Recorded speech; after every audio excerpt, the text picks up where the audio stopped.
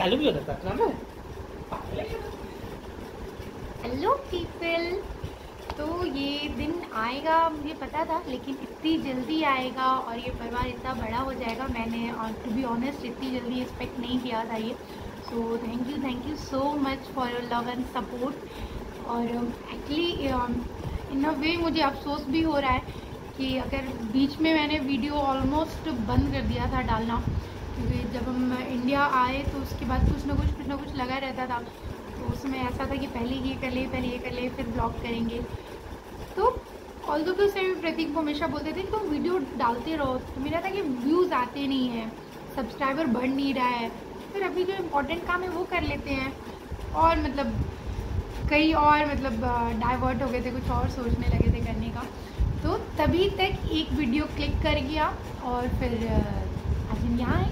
सुबह में हम लोग डुल्लू को स्कूल छोड़ने गए थे और गाड़ी में ही थे। तभी तक प्रतीक ने दिखाया कि 3000 सब्सक्राइबर्स हो गए हैं।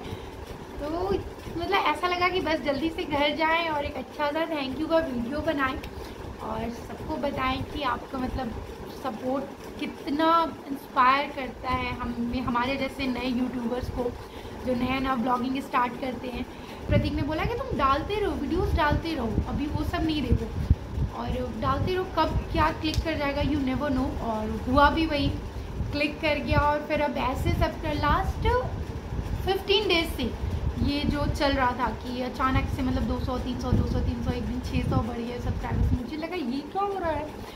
तो वही वीडियोस अचानक से वीडियोस पे व्यूज़ बढ़ने लगे लाइक बढ़ने लगे, हम कह रही तो हमारा अचानक से ध्यान गया। हम कह रही तो चलने लगा लग रहा है तो कब क्या हो जाएगा ना मतलब लाइफ टर्न ले लेती है, पता नहीं चलता है।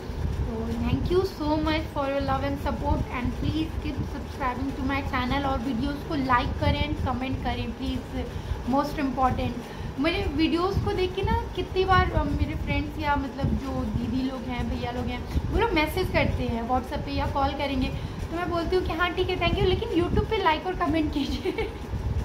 क्योंकि वो बहुत इंपॉर्टेंट होता है।